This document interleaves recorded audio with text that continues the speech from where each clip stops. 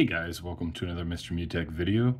Today I'm going to show you how to set reminders or put reminders on your lock screen like this on your iPhone device. Maybe you've wanted to have it on your lock screen like this for a while so that you never forget what you need to do. I'm going to show you how to do that today on your iPhone. So let's get into it.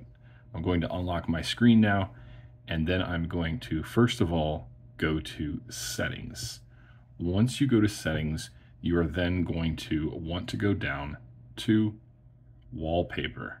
Now it seems like an odd place to set this, but this is where you're going to customize your wallpaper to set your reminders on the lock screen. So go ahead and choose the customize option on your first design that you have already selected. And now you can bring widgets to this area. So you can tap here and you will notice that you have options to go ahead and add widgets. So we can just set reminders. We already have one and it lets us set a max of two here at a time. So going to leave that one there. Once you're done with that, you just go ahead and tap and then tap again at the top under done and you are all good to go.